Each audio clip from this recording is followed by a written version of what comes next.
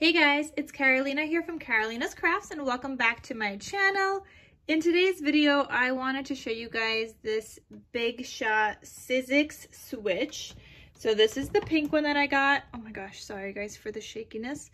Um, it's the Big Shot Switch Plus, and this is an electronic die cutting machine for all of your metal dies. So if you are into die cutting, you got you don't have to do that hand cranking thing anymore which is so great. Second thing to note, it is pink. This is from scrapbook.com. I'm going to have a link down below in case you guys want to get one. It is currently in stock. I don't know for how long because the first time it sold out within like the hour. Um, but it, it is back in stock right now. So I will have it linked down below trying to get this video done as quick as possible so you guys know about it. Um, if you're looking for like a peach colored one, you could get a peach colored one from Hobby Lobby, but I will warn you that it is very bright peach. Um, but this pink one is like a nice light pink color um, and it's perfect. It matches my craft room. It is so great. I love it. Um, if you guys could see here, it, like it matches my pegboards. You guys could kind of see a little bit over there. Um, yeah, this is just like a weird angle. I'm trying to show you guys everything in because we're going to be doing some die cutting. So that's so fun. All right, let me show you guys a couple of things that this came with. So it came with a 3D embossing folder. This is some hearts here um, embossing folder. It came with these dies, which kind of look like uh, layering flower dies and some butterflies and some leafy bits, which I think I'm really going to enjoy these kinds of leafy bits right there. Um, it came with this one here, like a decorative piece that you could put on a card.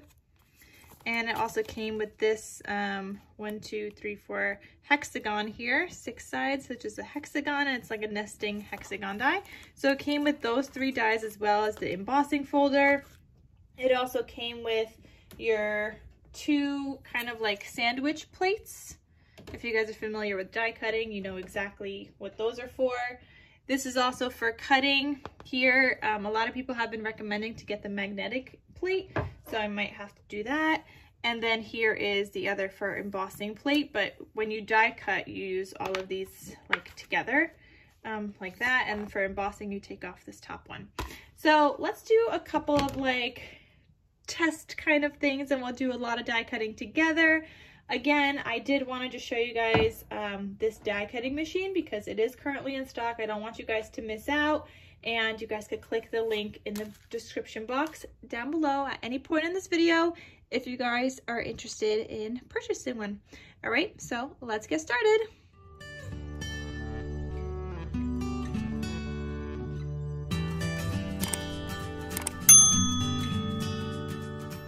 All right, so for this video, I also might use my magnetic platform. I'm gonna get the bigger one as well, but the magnetic platform just allows you to place your dies on here and it's magnetized, so it kind of stays in place wherever you want it. You don't have to use tape.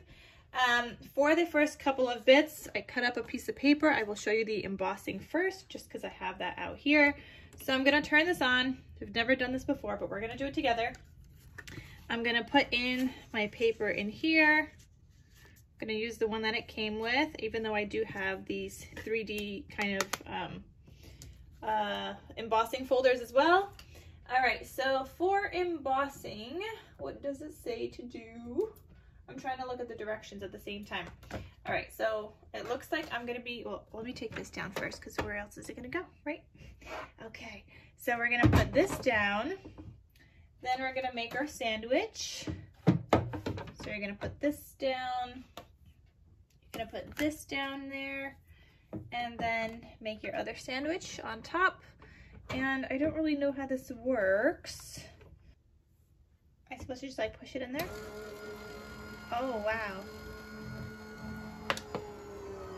All right.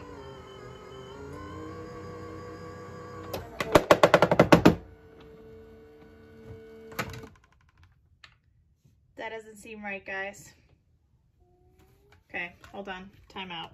I think I did something wrong already. Oh my gosh, I made a mark. All right. Um, textured impressions. What did I do wrong? Maybe it's just supposed to be this.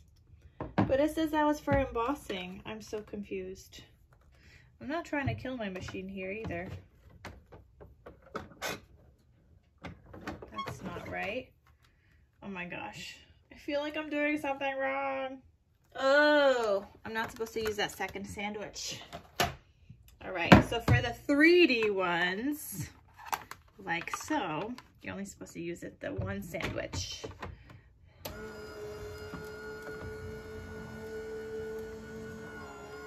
All right, I ran it through, it's going in by itself.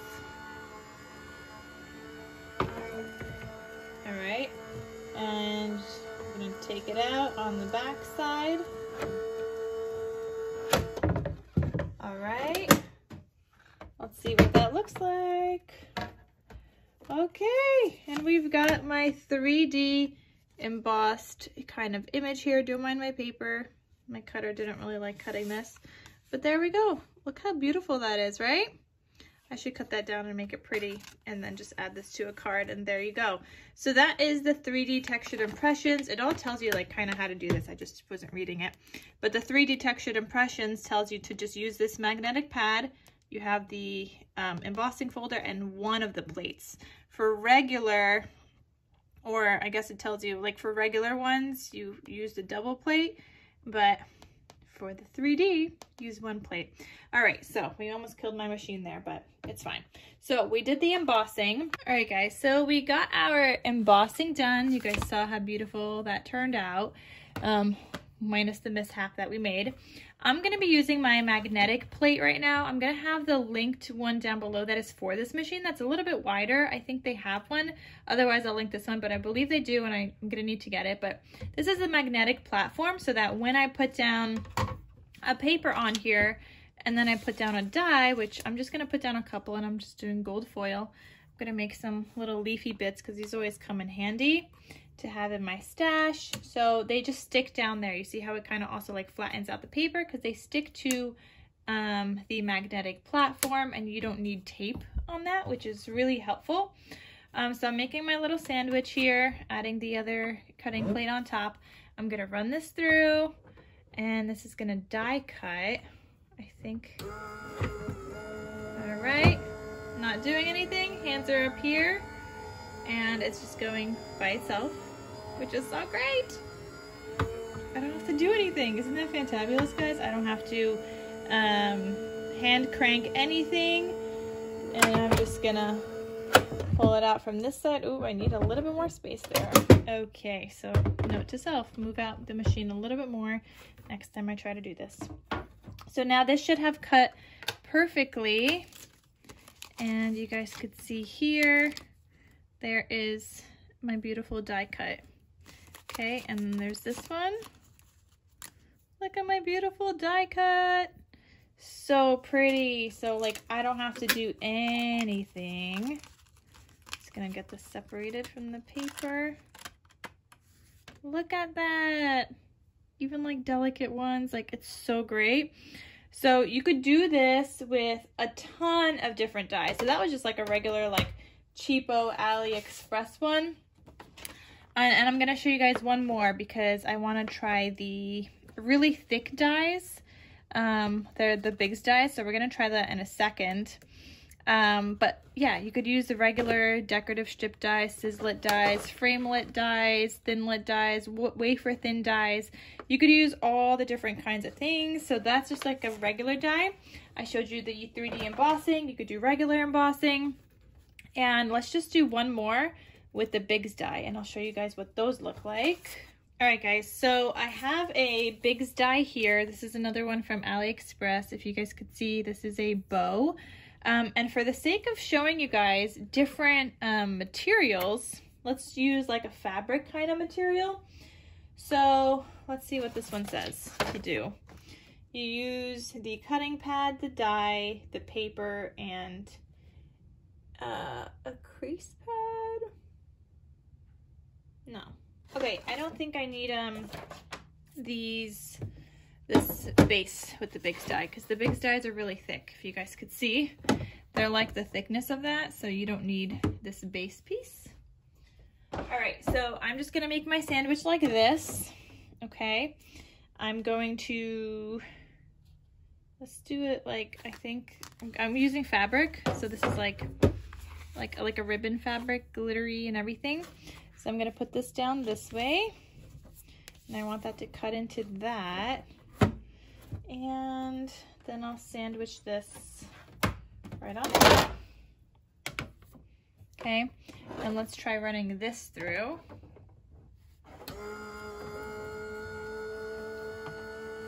Nope, that's not working. Okay. All right, so the Bigz die didn't really work with the other um, plates. It shows that you should have like these kinds of plates. This is the one that came with the machine, and since these are like flattened down, I think it like helps it run through the machine a little better. And I also did something wrong because I had put this face down.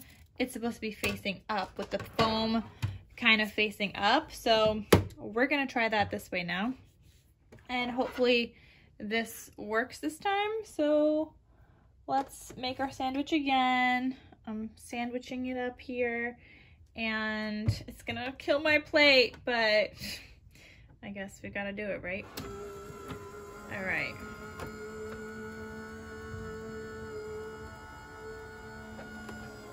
All right, so I had to help it through a little bit, but it looks like it does work. Now I'm not doing anything. Oh my goodness! All right, help it out too. Don't know, did that, oh my gosh, see, it definitely cut into my plate. That's the one part I hate. Look at that. That's the one thing I hate. Like, that's why I didn't want to use the new plate, but it is what it is. It just happens. It's part of the territory. Um, but look how good that cut out. And this was on fabric, like my thick um, fabric. So that worked out really well. That's all my pieces. And now what you do with this, I could make my cute little bow, which would look like this and like this. And this is like a double layer bow. So then I would actually um, glue these also. And this would go on top and it's like a cute little like double layered bow. So you guys could see. So yeah, sorry, I'm like off camera here. Um, but it does work with the Bigz dies as well. Um, it requires a little bit of pushing through, but I mean, I don't have to hand crank or anything. And look how cute that bow is, right? And that was on material, guys. So that wasn't paper. That was my material. Look how stinking cute. So the Bigz dies also do work through this die cutting machine, which that is fantastic news. So I just wanted to share with you guys like all the different things that um, you could kind of like cut through here because it does cut everything. We did the Bigz die, we did the regular embossing folder, and then we also did the regular um, like dies that are also delicate and they cut out just fine. So that is so great and fantastic. Um, I hope you guys, if you wanted one, I hope you guys can get your hands on one. Again, they are in stock as of me filming this video, but definitely check out the link in the description box down below. I will have the pink one listed and I'll have the white one. And then when the black one comes in stock, I will link that one as well. But for now, the pink one is back in stock, but keep checking back because I'll have the links for all of them.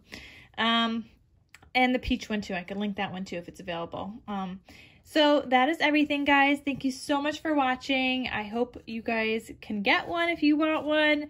Um, the link is down below in the description box. And I will see you guys in my next crafty video. So happy crafting to all of you guys, and I'll talk to you soon. Bye.